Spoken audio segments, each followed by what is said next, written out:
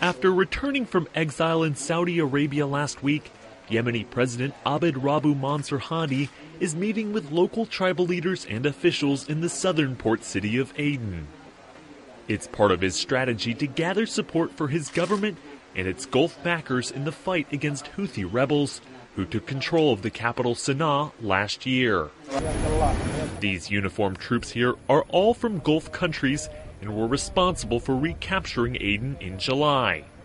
They're part of a Saudi led coalition that's been bombing Houthi positions for months, trying to get Hadi back to power in Sana'a. The United Nations estimates that together, the airstrikes and the fierce street fighting have killed more than 4,500 Yemenis since March.